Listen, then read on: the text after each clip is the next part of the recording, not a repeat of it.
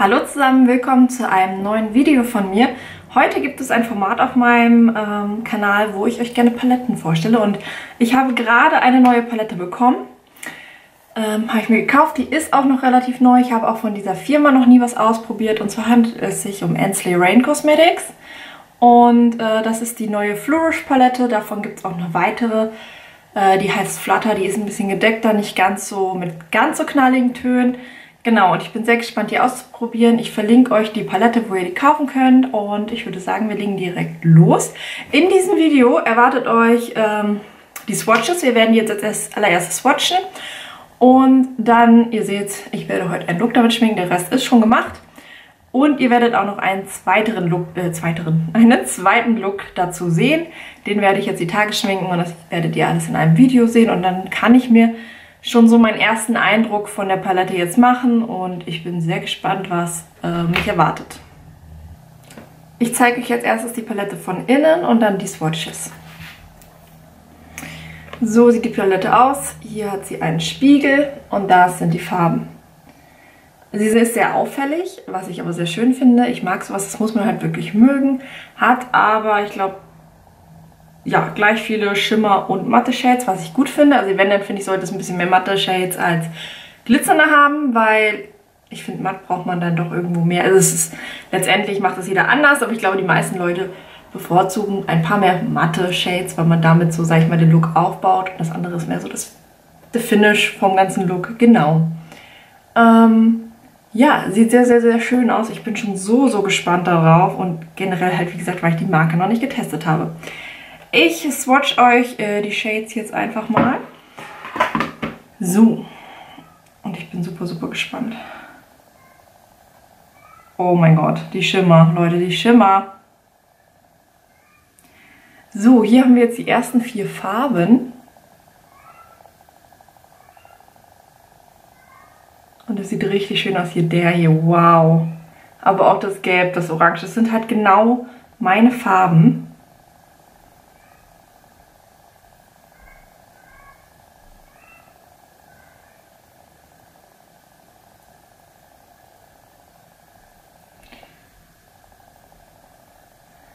Der hier ist so richtig wie, ja, wie kann ich das sagen, so ein bisschen cremiger. Man sieht es auch, wie geil der aussieht. Also die Matten sehen so erstmal beim Swatch ein bisschen schwächer aus, aber das heißt ja gar nichts.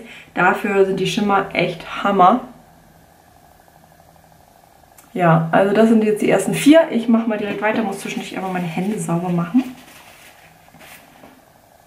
Uh, dieses Grün hier gleich, wow.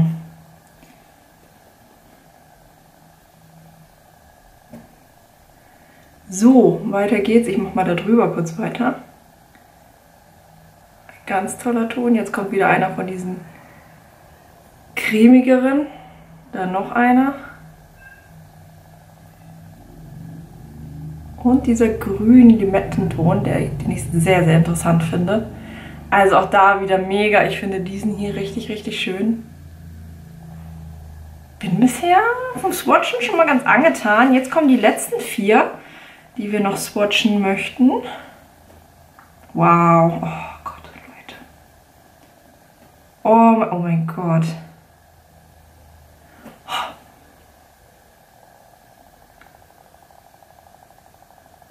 Habe ich euch eben gar nicht so gezeigt, aber so sieht man echt. Oh, der hier, wow.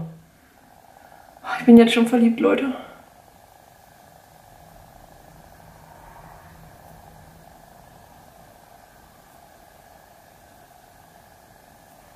Oh, der war, der war richtig gut, der dunkle. Der ist gut pigmentiert. Genau, einmal noch von nah an die Seite.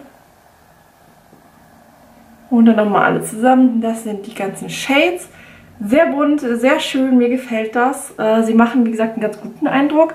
Bei manchen Matten bin ich mir noch nicht sicher, aber auf dem Auge, ich denke, die wird man gut aufbauen können, schätze ich. Ähm, ich weiß noch gar nicht, was ich schminke. Gut, dass wir zwei Looks schminken, weil ich habe hier so viel Auswahl. Ich möchte euch hier nicht nur einen kleinen Teil dieser Palette zeigen, sondern so ein bisschen zeigen, welche Variationen da möglich sind. Und da sind sehr, sehr viele Variationen möglich. Genau, ich werde jetzt einfach meinen Arm sauber machen mit ein paar Tüchern. Und dann geht es an den ersten Look. So, wir fangen mit dem ersten Look an. Und ich möchte mich in diesem Look ein bisschen auf die helleren, pastelligen Farben eher konzentrieren. Morgen machen wir dann was anderes. Ähm, da denke ich zum Beispiel an dieses Gelb, das würde ich gerne testen, und diesen Orange-Pfirsichton. Und dann bei den Schimmern gucken wir gleich mal. Aber ich würde erstmal den innen in den Augen, also nicht nur in den Augenwinkel, sondern in die Crease setzen und das eher ins äußere End. Ähm, ich fange jetzt innen an mit dem Gelbton. Da gehe ich einfach mal rein. Und trage das dann, wie gesagt, hier in die Crease auf. Relativ dezent ist der Ton bisher. Aber ich denke mal, den kann man bestimmt aufbauen.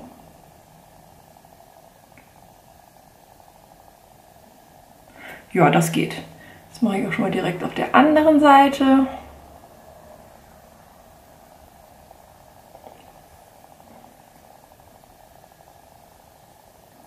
So. Ich mag ja solche Töne. Also Gelbtöne in Paletten finde ich persönlich richtig, richtig toll. Ich weiß nicht. Vielleicht weil es relativ selten ist, dass da so ein Gelbton drin ist und dass die meistens nicht die beste Qualität haben, benutze ich das umso lieber. Gerade, also vor allem im Sommer. Ich meine, ich trage letztendlich Farbe so, wie ich es möchte und wann ich es möchte. Aber im Sommer macht so ein schönes Gelb doch echt was aus. So. So lasse ich das erstmal. Also man sieht auf jeden Fall was. Es ist natürlich kein krasses Gelb. Es ist ja immer noch irgendwo so ein Pastellton. Deswegen ähm, ist das, glaube ich, aber trotzdem schon mal ganz gut. Ja, ich finde es bisher hübsch. Jetzt schnappe ich mir einen anderen Pinsel und gehe, wie gesagt, in diesen orangenen Ton und gehe dann von außen bis da, wo ich aufs Gelb treffe. Schön über der Crease, über der Crease, in der Crease.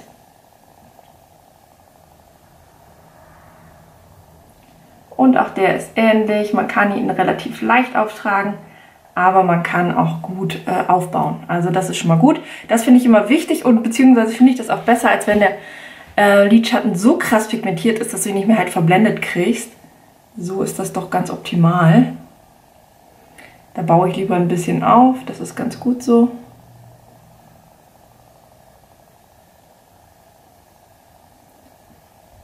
Das sieht doch schon mal ganz süß aus, richtig schön sommerlich. Gefällt mir richtig gut.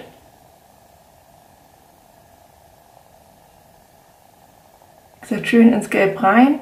Und gleich gehe ich nochmal mit dem Gelb auch nochmal rein ins Orange, um das halt wirklich toll ineinander geblendet zu kriegen. Das mache ich jetzt einmal. Dass es wirklich so einen richtig smoothen Übergang gibt und keine harten Kanten, weil sieht halt nicht ganz so schön dann aus. Aber so finde ich, sieht das schon mal ganz cute aus. Genau. Ich mache jetzt auch nicht den krass aufwendigsten Look überhaupt. Also ich möchte mich da jetzt relativ, das ist ja ein Vorstellungsvideo, probieren, probieren ein bisschen aus. Und dann sehen wir mal. Ich gebe jetzt unten, boah, weiß ich nicht, ob ich da vielleicht auch einfach nur das Orange nehme. Ja, wir machen heute mal ein bisschen dezenteren Look. Ich gehe jetzt also unten mit dem Orange nochmal lang, nehme hier so einen festgebundenen, schmalen Pinsel.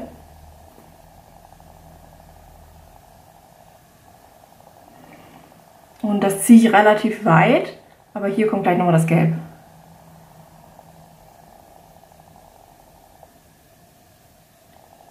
Wie gesagt, heute nicht zu, zu auffällig. Naja, es muss jeder selber wissen, für viele sind das jetzt nicht unbedingt die Farben, die man im Alltag tragen würde. Für mich schon.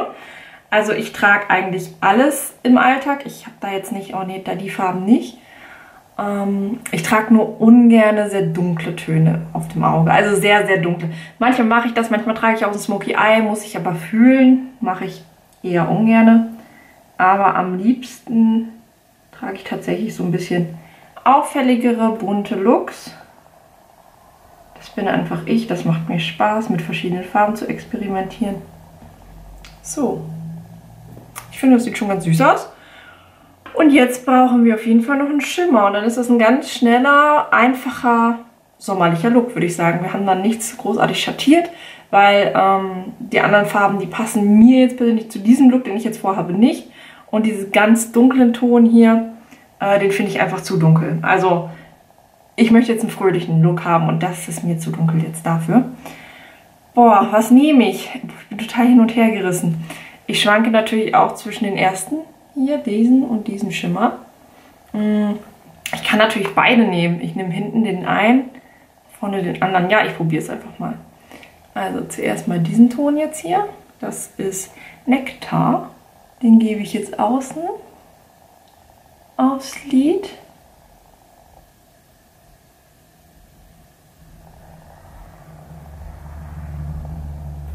Seht ihr das? Also der ist schön, aber halt mehr pink. Was jetzt aber nicht schlimm ist. Ich hätte zwar jetzt lieber so einen Orange aber es wäre wahrscheinlich hier der Sunbeam gewesen. Der ist mehr orange. Aber ähm, ich habe ja kein Problem damit, verschiedene Farben zu kombinieren. Von daher ist das vollkommen in Ordnung. Und passend tut er dazu allemal. Das mache ich übrigens immer mit dem Finger, weil ich finde, gerade solche Shades, die so ein bisschen ins Cremige gehen, lassen sich halt einfach besser mit dem Finger auftragen. So, der ist drauf. Und dann gehen wir noch in Buttercup Bliss. Das ist wie gesagt dieser gelbe Ton, gelbe Schimmerton hier. Und den gebe ich jetzt innen hin, also innen aufs bewegliche Lid.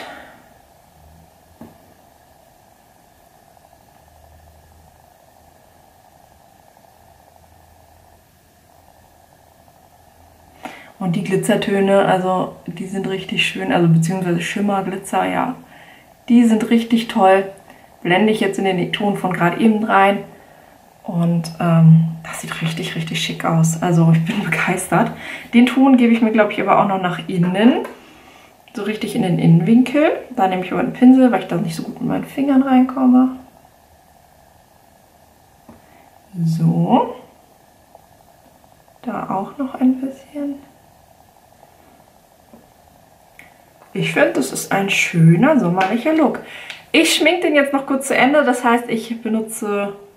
Ah, ich weiß gar nicht, ob ich jetzt so einen Lidstrich brauche. Ich glaube, ich benutze einfach Mascara und dann sehen wir uns gleich wieder.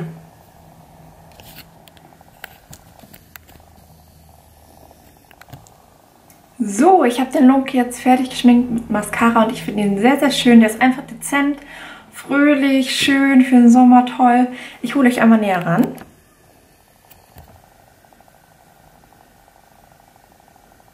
Ich hoffe, ihr könnt es gut erkennen. Ich hoffe, wie gesagt, äh, meine Settings hier sind noch nicht perfekt. Die werden sich nach und nach verbessern. Ich hoffe, ihr habt ein bisschen, ein bisschen Rücksicht darauf, aber ich hoffe doch sehr, dass man das relativ gut erkennen kann.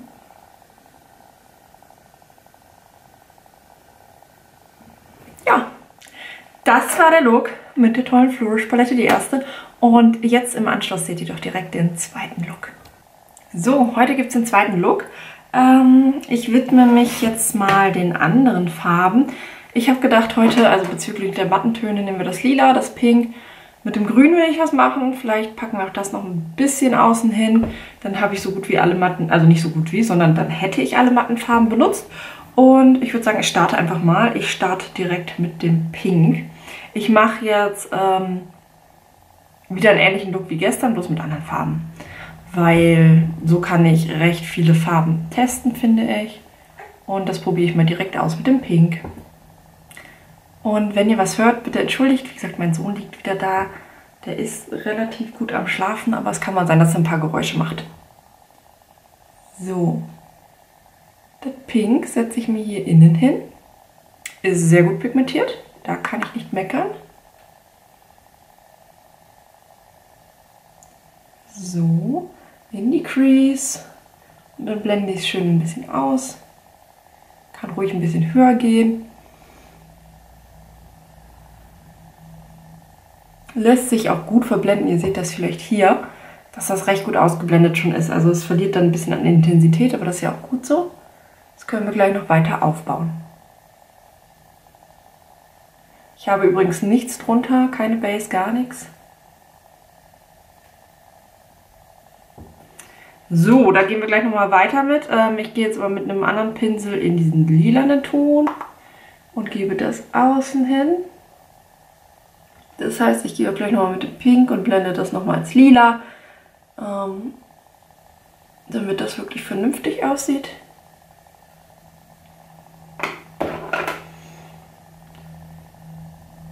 Ich weiß auch nicht, wie lange ich heute den Look tragen werde. Heute wird es wohl richtig, richtig heiß. Mal gucken. Dann bin ich lieber ungeschminkt eigentlich. Wir werden sehen. Finde ich auf jeden Fall bisher sehr schön. Also ich trage, wie gesagt, alles an Farbe so. Ähm ich mag das einfach, mich da auszutoben und ich habe da auch kein Problem mit. So würde ich auch überall hingehen. Also wirklich überall.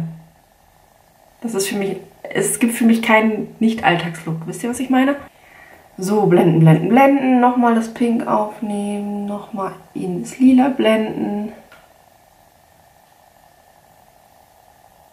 Weil ich möchte schon, dass die Farbe trotzdem knallig ist, aber natürlich die Übergänge ordentlich sind. Deshalb das Blenden halt das A und O. Und einmal nochmal mit dem lila Ton rein.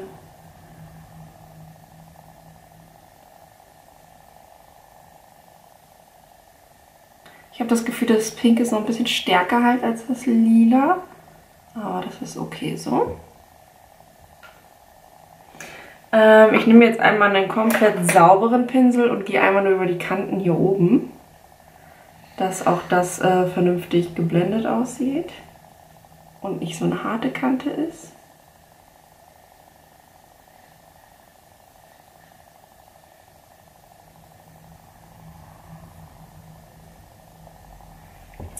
So, das sieht schon mal gut aus. Ähm, unten tatsächlich würde ich das wieder ähnlich halten. Das heißt, ich gehe hier außen in den lilanen Ton.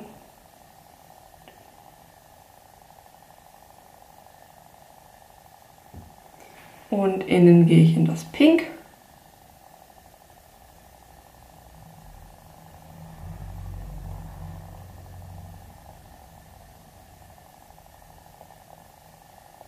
Für mich gehört auch immer dazu, dass man am unteren Wimpernkranz sich schminkt, weil, also es kann natürlich jeder machen, wie er möchte, aber ich finde, es sieht so unfertig aus und irgendwie, ich finde es nicht schön, persönlich.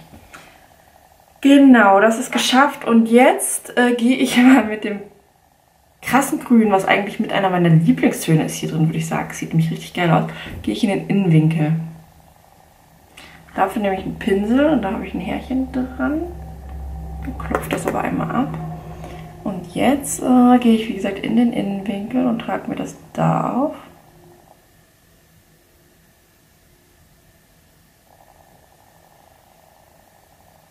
Boah, ich finde es richtig geil. Das sieht richtig cool aus. Ich mag auch einfach äh, matte, farbige Innenwinkel, finde ich total cool. Das ist bei mir nur immer das Problem, wer es noch von früher kennt, ich habe ja eine Lähmung gehabt, auch meine Foundation sitzt nicht gut, naja. Äh, eine Lähmung gehabt, durch Stress ausgelöst, bla bla bla. Hier auf der rechten Seite sieht man oft, das Auge ist auch immer so ein bisschen weiter zu, aber das kriege ich nicht auf, weil das geht ja nicht. ähm, und das Auge tränt fast immer beim Essen. Dementsprechend muss ich da immer so ein bisschen tupfen und dann ist ganz schnell mein Innenwinkel halt nicht mehr vorhanden, der rechte. Und das ist dann halt mal ein bisschen blöd. Aber egal. Egal, egal. So, ich finde, das sieht sehr, sehr cool aus. Dann hatte ich ja gesagt, wollen wir einmal ganz klein tucken in den dunklen reingehen. Dafür nehme ich nochmal diesen Pinsel. Ich hoffe, ich mache es jetzt nicht zu so doll. Der ist nämlich bestimmt gut pigmentiert. Ich habe wirklich nur so einmal reingedrückt Stage ganz leicht.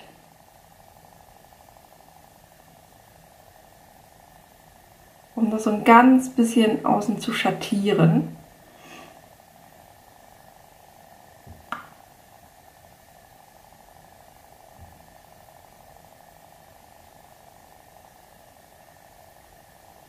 Ich finde, das sieht richtig, richtig gut aus. Das ist ein sehr, sehr schöner Ton. Finde ich sehr gut. Finde ich auch gut, dass es hier so einen dunklen noch drin gibt. Weil man dann halt wirklich viel variieren kann mit seinen Looks. So. So sieht das derzeit aus. Finde ich bis jetzt sehr schön. Und jetzt suchen wir uns noch einen schönen, äh, mein Nase juckt, einen schönen Schimmerton aus. Gestern haben wir ja diese den und den benutzt. Ja, was nehmen wir denn? Ich bin fast dafür. Oder wollen wir jetzt einmal richtig bunt geben und gehen und wir nehmen dieses Grün noch? Ja, komm, was soll's, ne? Äh, wie gesagt, bei mir geht immer alles. Und dementsprechend nehme ich jetzt einfach diesen Ton, um den zu testen.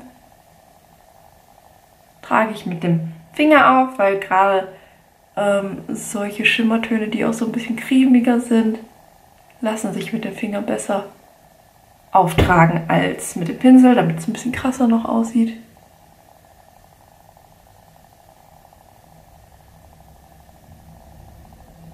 Finde ich sehr cool. Also ist vielleicht für viele nichts, weil es so bunt ist, aber ich liebe genau sowas. Und wie gesagt, ich gehe auch so raus. Ich gehe jetzt gleich noch einkaufen. Oh, in ein paar Läden, nicht nur in einen. Ich muss zu Rossmann, ich muss zu Aldi, ich muss zu Lidl. Ja, aber ich finde es super, super schön. Es ist ein ganz toller Ton. Der äh, ist auch so ein, ja, Multiduchrom. Also der hat was Grünes, der hat leicht was Bläuliches. Und auch ein bisschen Violett, wenn ich mich richtig drehe. Ja, das sieht richtig cool aus.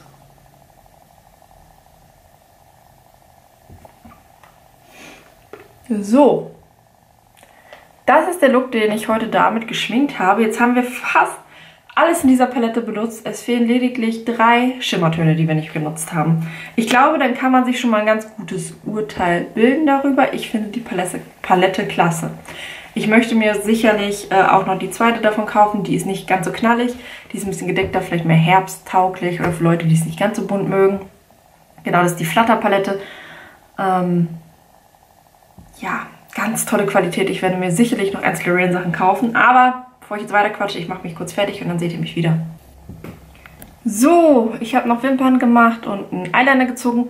Äh, vielleicht mache ich mir gleich noch Lippenstift drauf. Ich habe nur gerade tatsächlich keinen hier oben. Aber es geht ja auch tatsächlich heute um den Augenlook. Ähm, ich nehme euch noch einmal weiter ran. Bisschen schön ans Auge.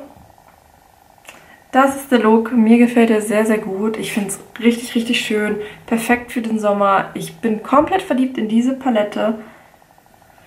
Ich weiß nicht, lasst mir gerne mal einen Kommentar da, wie ihr die Looks jetzt fandet. Ähm, ob das eine Palette für euch ist, ob ihr euch die auch gerne holen wollt. Ich kann euch die gerne verlinken. Unten in der Infobox findet ihr das. Und oh, ein Traum. Ich finde die richtig, richtig schön. Ich fühle mich richtig gut mit diesem Look. Ich fühle mich wohl. Das sind so die Sachen, wo ich mich richtig wohl fühle mit solchen Looks.